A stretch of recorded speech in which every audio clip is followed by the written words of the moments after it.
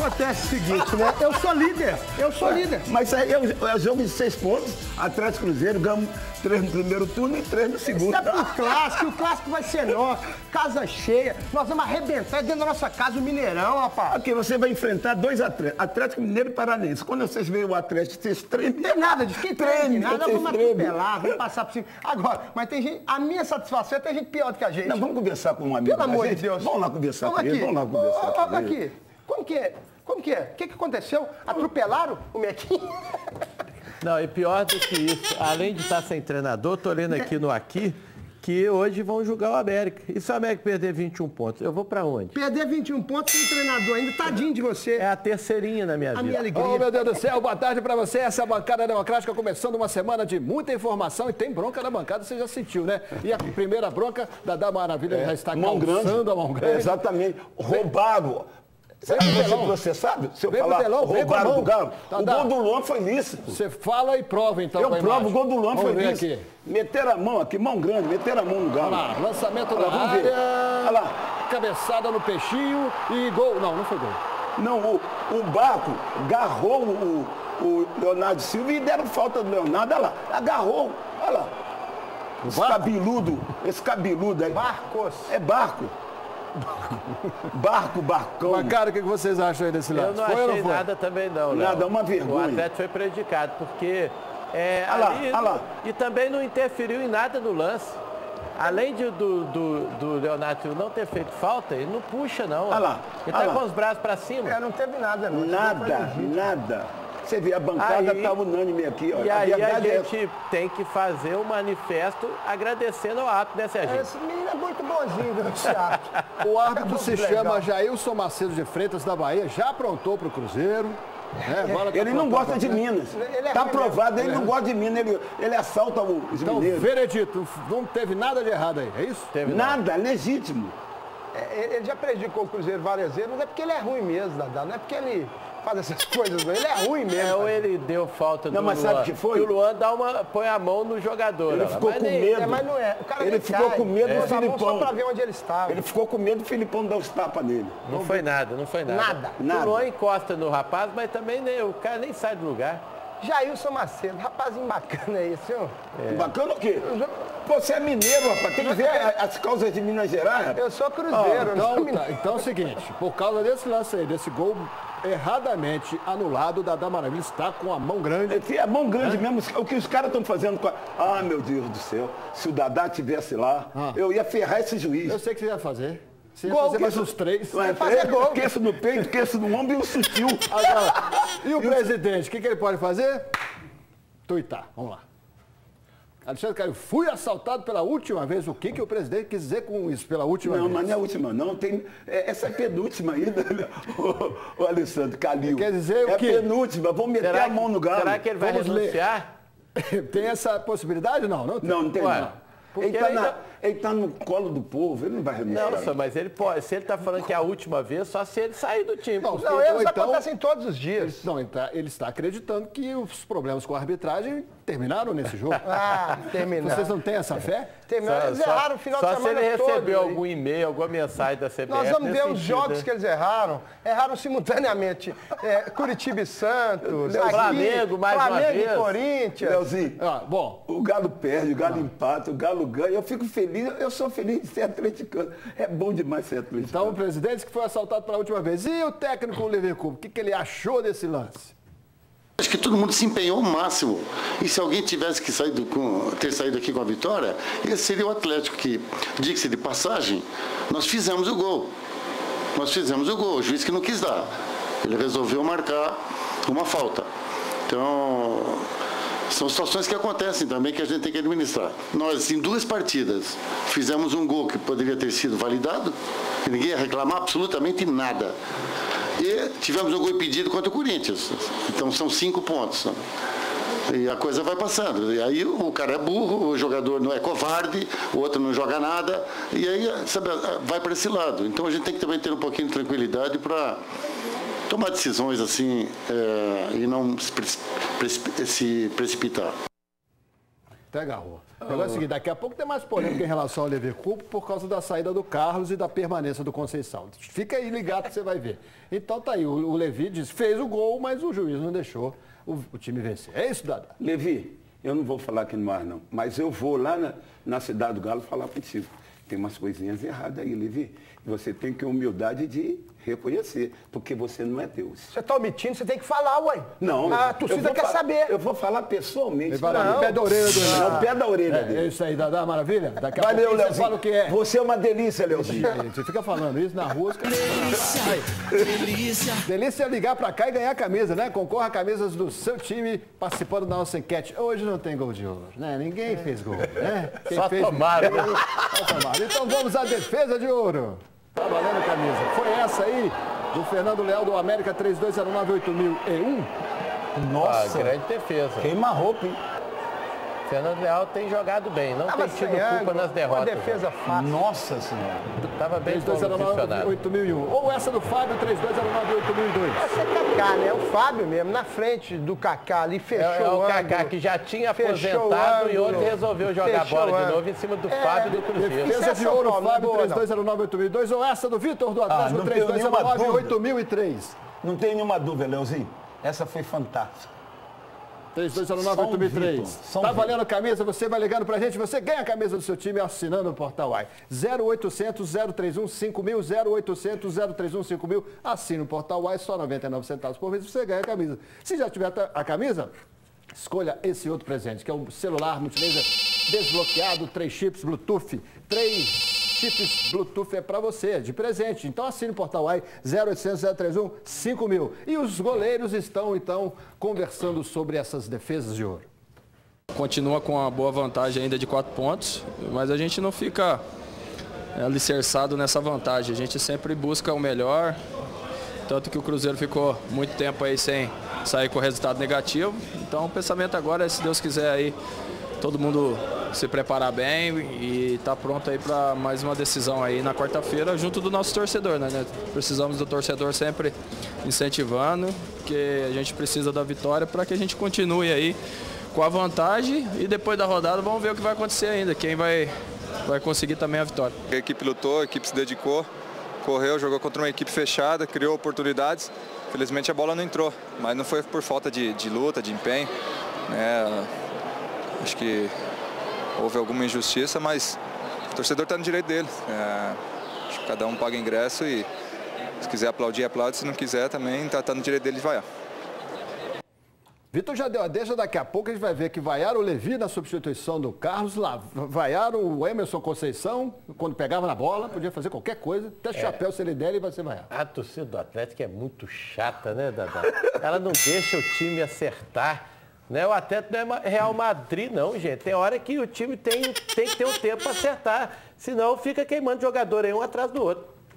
A minha língua queima, Leozinho. Porque eu conheço tudo de Atlético, eu vejo tudo errado. E infelizmente, às vezes, a gente não pode falar a verdade. Porque fala a verdade aí é crucificado. Até atleticano, de vez em quando eu faço umas críticas aqui veladas. Eles reclamam dizendo que eu sou cruzeirense, que eu não gosto do Atlético. que é isso, amigo? É, é o torcedor, é democrático, né, Dadá? Não, mas o Dadá de, de, de, cruzeirense É, tem gente que fala isso. raiva. Serginho, tô preocupado com o senhor, que cara é essa, meu amigo? Não, tô legal. Tá legal? Tô legal. E outra coisa. vamos ver então o que aconteceu lá no Morumbi. uma batalha, mas a guerra é nossa Então ainda. pronto, Claro. vamos ver, Samuel, conta pra gente. Teve torcida lá que foi apoiar Lotaram, o- o lotaram time o Morumbi. liderança? É o Mar Azul. É o Mar Azul. Arriba, então vamos lá, vamos, Vamos lá, chefe. Antes da bola rolar, uma mistura de revolta e confiança. Faltando pouco tempo para o jogo, uma fila gigantesca nas ruas do Morumbi.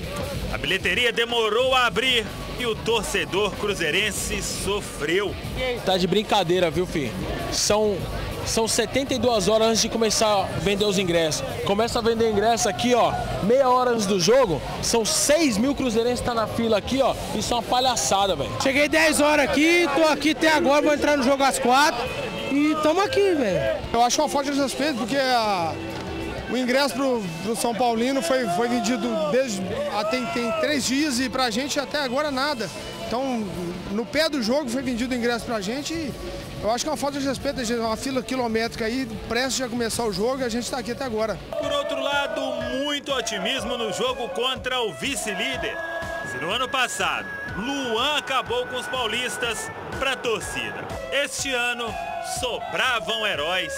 Everton Ribeiro! Everton Ribeiro, né? Com certeza! Muito confiante. Eu tive aqui ano passado, o Luan fez chover e esse ano vai chover o Everton Ribeiro e Ricardo Goulart. Só que essa turma parou em Rogério Ceni. E o goleiro do São Paulo parou na rede do Cruzeiro. De pênalti, ele fez 1 a 0. No segundo tempo, Allan Kardec definiu. São Paulo 2, Cruzeiro 0. A equipe vem jogando futebol muito bom. Uh, o resultado de hoje foi, foi atípico. Uh, e a equipe tem que continuar forte. Acho que isso que nós conversamos, uma equipe muito experiente, uma equipe que todos, todos são muito é, vitoriosos aqui. É trabalhar para quarta-feira conquistar um bom resultado. Viemos para sair com a, com a vitória, né? Mas não conseguimos. Agora é bola para frente, é, trabalhar aí para conseguir as vitórias dentro de casa, que estamos na frente ainda. Esse tá pensamento, frente, né? esse Daqui pensamento mesmo. Esse né? pensamento. Daqui a pouco você analisa o que foi o jogo, tá ok? Agora, essa da torcida também é sacanagem, né? Cara? Sacanagem mesmo. Esse time de São Paulo, essa diretoria de São Paulo, gente, eles gostam de atrapalhar. Isso é uma sacanagem que fizeram com os nossos torcedores que lá estavam. Como o nosso Mar Azul está invadindo todos os estádios aí no Brasil, foi assim em todos os lugares por onde o Cruzeiro passou, falta de respeito. A diretoria Celeste não faz isso aqui com os outros. Com é, eu não venho mudar de assunto, não, não, porque eu, como representante de São ah, Paulo, voltou. voltei numa vitória importante dessa. Já dei as dicas pro Murici, tá liguei para ele sexta-feira, falei dos pontos fracos. Daqui a pouco Cruzeiro, no compacto, então você vai dizer só, qual foi a agora sua Só estou agora... triste porque o Rogério Ceni não marcou o décimo gol em cima do Fábio. Agora... Nosso freguês que adora tomar gol do agora, Rogério. Agora eu fico mais feliz. porque você, representando São Paulo, com certeza nós seremos campeões. Só fui Porque tricampeão. é o maior pé frio que existe. Só fui tricampeão aqui em São Paulo. Paulo. Tricampeão. Não era. E, e, aconteceu o que aconteceu com a torcida do Cruzeiro tinha acontecido no jogo lá no Itaquerão entre Corinthians e, e Atlético. Chegaram atleticanos lá e não encontraram bilheterias fechadas. Quer dizer, um desrespeito aos torcedores mineiros. O que, que a gente faz sobre isso? Vai lá e ganha deles. Vai lá e ganha título brasileiro, título da Copa do Brasil. Aí o Cruzeiro faz esse papelão de perder. De deixar a gente Tem que responder com títulos. Dadá Maravilha. Caiu no horto. Tá morto. Vamos tá ver. mais ou menos, né? Vamos ver, vamos ver. Tá Porque a torcida quer volta ao brilho. É, é isso, Andresa Guichevski. Tá, tá morto e raro.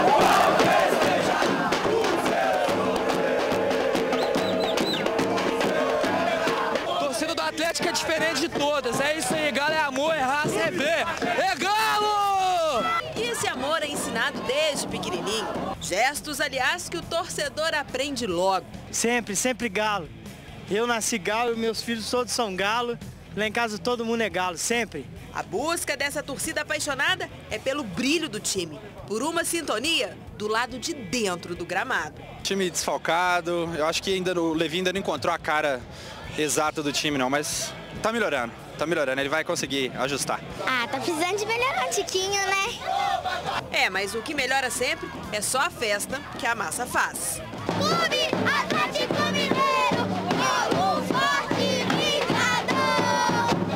Realmente, esse brilho não apareceu. Pelo contrário, do lado de dentro, um verdadeiro apagão. E aqui, ó, faltou pouco para a rede balançar e a massa comemorar de acordo.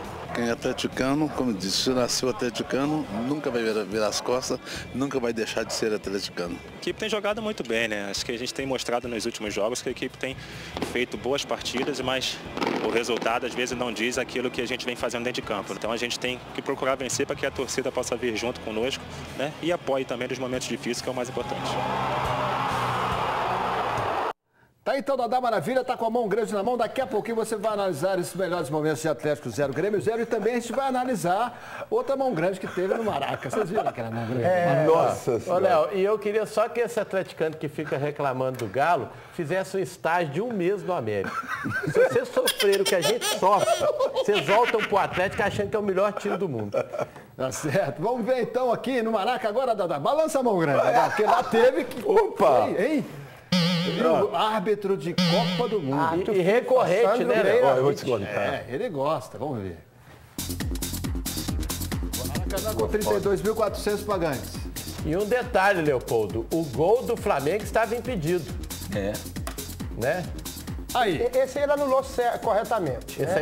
aí, esse aí foi bem Anulou. anulado. Tinham três Vai, jogadores então, do Flamengo. a arbitragem estava boa. Aí, o Eduardo Silva, Aí, da ó. Silva pega. Ele estava impedido, Léo. Ele estava voltando. É. O Eduardo da Silva liberou a bola. estava impedido, o Wallace E o não Wallace? estava. Não, Não, não mas, estava. mas o Eduardo Mas ele é determinante. participou lá. ativamente no, no lance, né? Foi sem querer o toque dele? Não. Sem querer, querendo. É pro Bandeira, né? Aí como é que ontem meu filho estava perguntando assim, o Tavinho, pai, será que isso é uma coisa armada? Eu falei, ô filho, se não fosse, eles iam errar pro Figueirense, eles iam errar pro América. Depois teve esse pênalti. Foi ou não? Foi Esse lance pra mim não foi. Ele tá, ele tá com a mão colada ao corpo. Ele tá com a mão segurando a outra, olha pra você Olha lá, ver. é, Olha lá, ó. colada Não, ao não foi corpo. nada não. Ele foi tá nada, com a não. mão direita segurando a esquerda, como manda o figurino. Exatamente. É assim que um jogador tem que se portar dentro da área. Eduardo da que- Silva bateu, o Cássio Fala que pegou. pênalti garfado não entra Eu acho que até o Eduardo já tá com vergonha, Eduardo. Ele falou assim. Sandro Beira que agora é da Federação Pernambucana, ele é mineiro de Poços de Caldas, já rodou por aí, né? Já fez lambança pro Brasil todo. Na Copa do Mundo até que ele foi bem, né? Não, É, é, olha, mas o mais interessante. o mais- E o- o- Mas, mas coloca o Flamengo na Copa do Mundo, É, você ver se me- não arruma pênalti. Agora, é o tipo da arbitragem, do sorteio, foi assim, nossa, vamos sortear para Flamengo e Corinthians, ferrou. Para quem que eu tenho, quem que eu tenho que ajudar? Flamengo e Corinthians são beneficiados o ano todo. Agora o Corinthians esse ano tem sido prejudicado. Eu não sei se eles brigaram com a turma da CBF, não, viu, Não, prejudicado foi o Cruzeiro que, com no São Paulo no primeiro turno, né, gente? Aí nós temos que. Eram mais quatro pontos pra gente, todo mundo viu. O cara dominou a bola até com vergonha, você viu, Tolezinho? Ei, pessoal, a Honda inova mais uma vez e traz uma grande novidade. A nova CG 150 Titan modelo 2015 com freios CBS, que significa Sistema Combinado de Freios. Ela é a única moto da categoria equipada com esse sistema. É uma tecnologia desenvolvida pela Honda que aumenta a eficiência e a segurança ao frear a sua motocicleta. Funciona assim: quando você pisa no freio traseiro, o dianteiro é acionado ao mesmo tempo, na proporção certa. Isso faz com que a frenagem seja distribuída de modo inteligente, parando a motocicleta com antecedência e estabilidade. É a Honda trazendo mais tecnologia e segurança no trânsito para você. Muito boa essa novidade, né? Incrível! E você está esperando o quê? Vá até uma concessionária Honda e garanta a sua nova CG 150 Titan modelo 2015 com freios CBS. Aí vamos sacudir a rede bancada. Esse é o Fluminense, Fluminense. em cima do Palmeiras, se Fred duas vezes. É. De- deitado, ele gosta de fazer gol assim, né? cara? Esse é o Fred que eu E queria na Copa do mesmo Mundo. lado, e nesse mesmo lado no Maracanã. É verdade. Fluminense vem aí, Olha lá, olha o peru desse gol. Olha o Nossa ruim. Senhora. O do Palmeiras já passou da hora. né? Internacional vencendo o Botafogo com gol de Alex e Eduardo Sacha. Jefferson também falhou nesse Nove, não, não falhou não. 900 megatons. A bola fez Ah, curva. não. Mas tava no meio. Tirou Não, foi-. Mudou alguma coisa na classificação, Sérgio? Não, na classificação não mudou nada não. Só o São Paulo chegou mais perto um pouquinho ali. Mas já estamos com o alerta ligado. Vamos ganhar mais seis pontos essa semana. porque quando a gente pega Atlético, a gente atropela. E nós temos dois essa semana. Temos o Paranaense e o Mineiro no final de semana. Então, Cruzeiro 46, líder, agora diminuindo a diferença para o São Paulo 42, Inter 37, Corinthians 36, Fluminense na quinta e o Grêmio na sexta colocação. O Atlético em oitavo, Dadá. Não tá, não tá do jeito que você Não, gosta. não tá, mas eu tenho certeza que daqui a duas semanas o Cruzeiro já não é mais líder.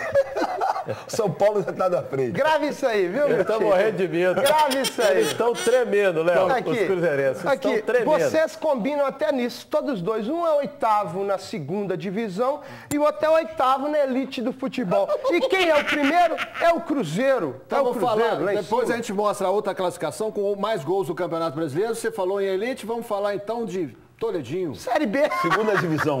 A Tá risada, bonito. a risada. Não, você pode pedir para eles dar licença daí? Dá licença daqui. Perfeitamente. Vai Pode ser passar. educado, né? Roda aí. Caiu no horto.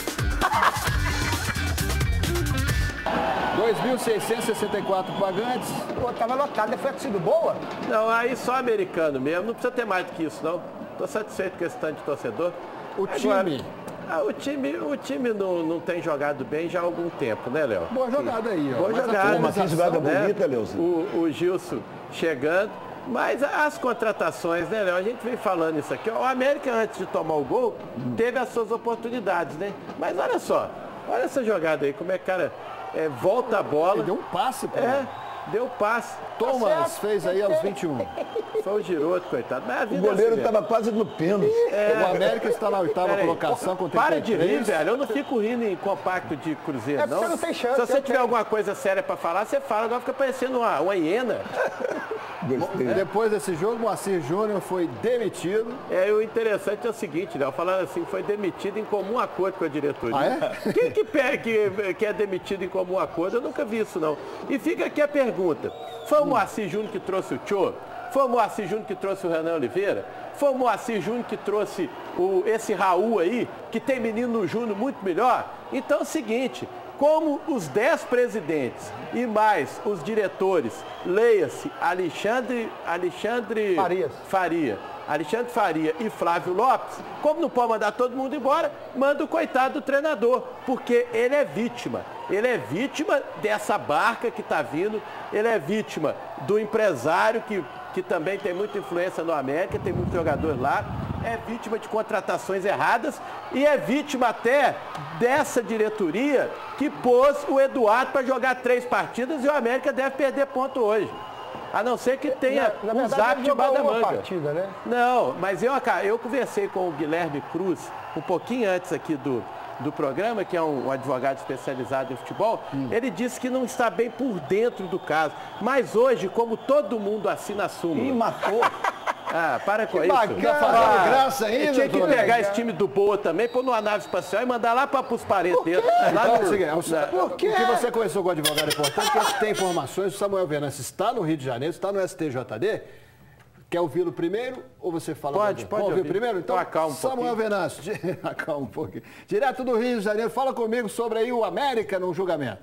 Fala, Léo. Um abraço para você, um abraço para amigo ligado no Alterosa Esporte. Já marcamos presença aqui, ó.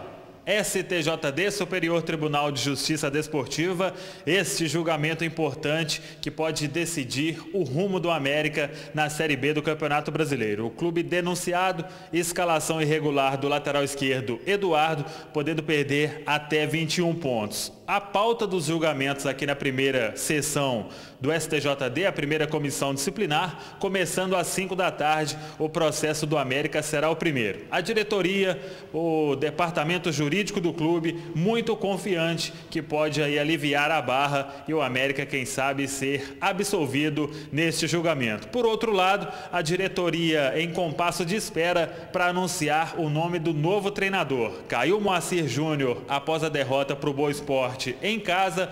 Amanhã tem mais um jogo, mas aí o auxiliar técnico será o comandante, porque o Flávio Lopes, o gerente de futebol do Coelho, está esperando a volta do Marcos Salum, que estava de férias, para aí sim sentar e definir o nome do novo treinador do Coelho. Nomes especulados, Adilson Batista, Ney da Mata, Celso Rotti, a diretoria só afirma que não está conversando com nenhum nome no momento. É o que temos, ficamos aqui de plantão, o julgamento do América no STJD. Do Rio de Janeiro para o Alterosa Esporte, Samuel Venâncio com imagens de Amir Martins. Grande abraço. Grande abraço, Samuel, no Alterosa no Ataque, logo mais informações do julgamento. E aí, Netinho, e tá? aí é que a Alterosa Esporte é chique demais, né? Tá junto com os times mineiros em qualquer lugar, parabéns.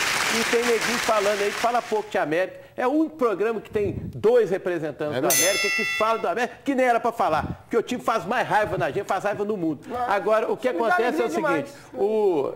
Eu, eu vou falar sério agora, por favor.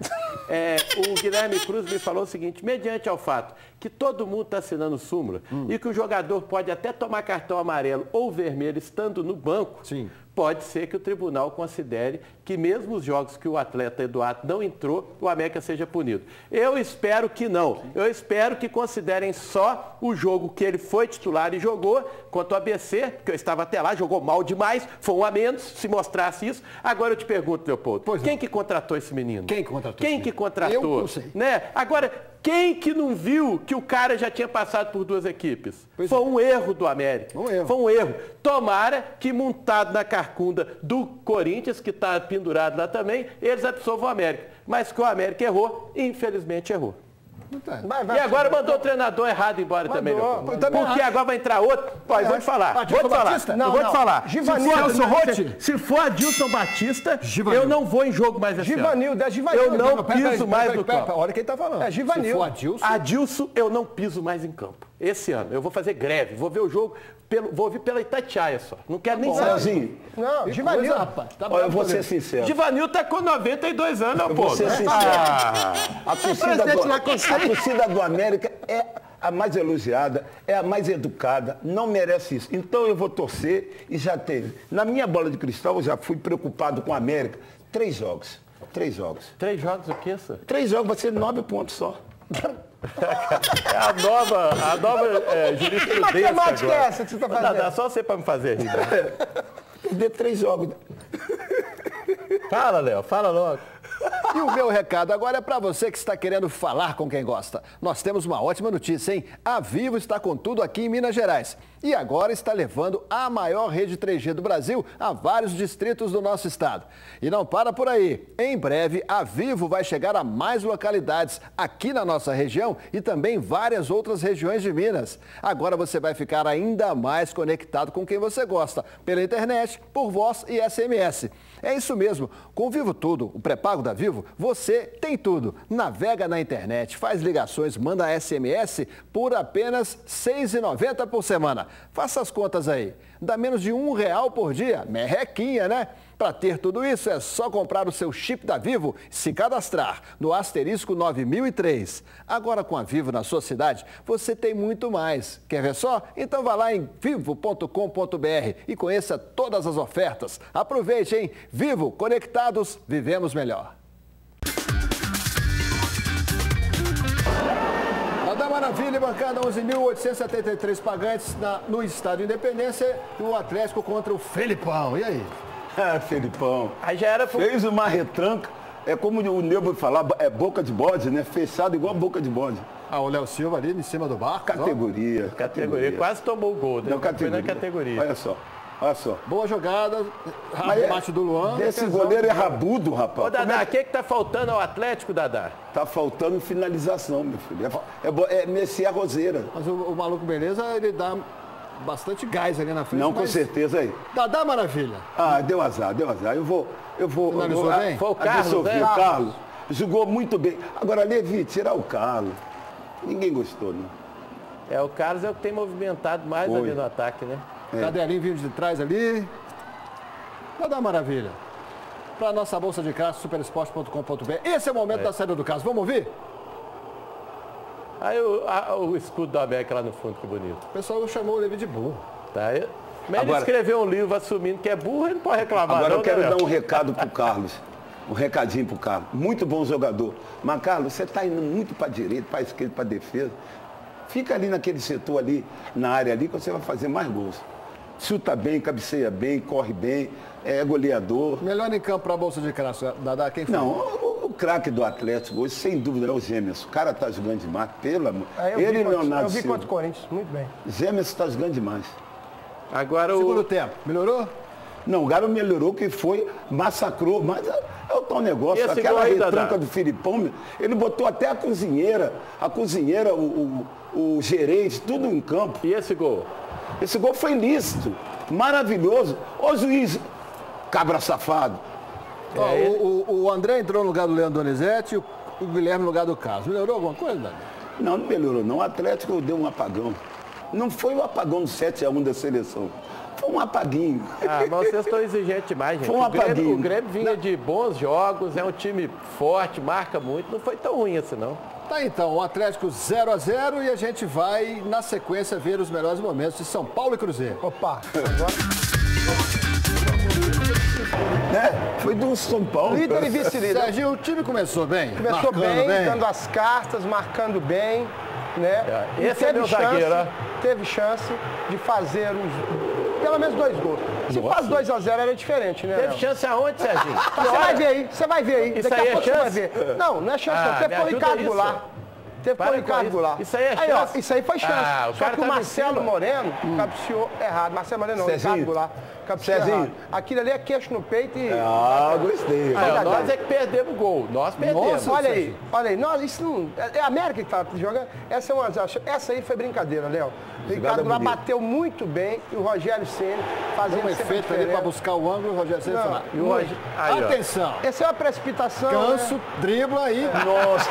Tem alguma dúvida que ele foi derrubado? Não, foi pênalti sim, muito precipitado, chegou afoito. Ele é novo, né, chegou Serginho? afoito. O Kaká pressionando o árbitro Leandro Pedro Voaden para dar o amarelo, vermelho. ele já Tinha que tomar o amarelo. segundo, Leopoldo. Não tinha, não Assessora tinha. ajudada, Isso lá, ó. aí não é falta para outro amarelo. Que Léo. isso, dentro da área, Não. Serginho. O cara ia fazer o gol. falta. Não é falta. Quem ia fazer Não, gol? não. Aí, ó, aí o Rogerão, aí, Serginho. Ô, Léo, eu fiquei sabendo que o Rogério Senna tá deprimido, porque ele queria fazer três ontem, só fez um. Esse homem devia estar aposentado já, né, Sérgio? Esse trem fica. Só pega contra o Cruzeiro. depois de tomar esse defesa, gol- Isso é defesa de ouro. Defesa de ouro. Ai, que alegria que vê o Cruzeiro Depois de tomar assim. esse gol, o Cruzeiro, como é que se postou? Não, o Cruzeiro tava, tava bem, continuou ainda indo pro ataque, né? A reclamação ali foi pênalti? Pegou no rosto do, pegou no rosto do Rafael Tolói. Não foi nada, não. Aí já é o segundo tempo, o Manuel volta no lugar do Dedé, viu, gente? Olha só esse gol que perdeu ali. Porque o, o Marcelo Oliveira achou melhor colocar o Manuel, porque o Dedé já estava amarelado. Defesaça do, ô, Leopoldo, e do o, o. Cruzeiro tá concorrendo com você com aquele negócio de desaposentação, viu? Porque eles desaposentaram o Rogério Ceni e o Kaká. Esse é o Edson Silva, que é um bom jogador, viu? Ele, o Auro, Olha só, o. Marcelo Moreno, quem não me fez. E bola dois, cabeceou pra trás, né? e dois Cabeceou caras livres, Serginho. Aí tinha dois caras no meio da área livres. Mas quem que ele cabeçou para trás? Sérgio? Olha, Ah, Ele não, ele não queria cabecear pra trás, não, mas a bola raspou. Ele não vai querer fazer um trem E dele. era pra ser mais, viu? Olha lá. Essa aí já Não era tá pra Depois, ser mais, depois disso foi a Mas pressão São do Paulo Cruzeiro tirou- um apagão. tirou o pé do acelerador. cansou. Grande defesa do Fábio de novo. Achei que o Cruzeiro cansou no jogo. O Cruzeiro deu liberdade. Isso aí poderia ter entrado, uma As- bola do Alisson. A saída do Lucas Silva para a entrada do Dagoberto. Você aprova? Sem dúvida. Eu- Sabe o que acontece, Léo? Já estava. O Cruzeiro tinha que ir para cima mesmo. Já tinha que tentar diminuir. Marcelo Oliveira, certinho. Beleza, então. Vamos a um breve intervalo. Fica aí que a gente volta já já com a bancada e muito mais para você. Estamos de volta. Serginho Toledo, Dadá, presta atenção. Levi tirou o Carlos e deixou o Conceição. Deu no que deu.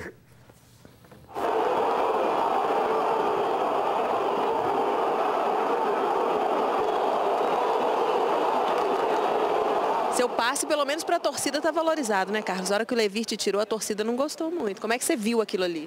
Não, eu vi que, tipo, eu também pedi para poder sair, eu vi que a torcida também está dando moral, está reconhecendo o meu trabalho. O Carlos, apesar da idade, é um outro problema para nós, porque ele fez sete jogos em 14 dias, 15 dias.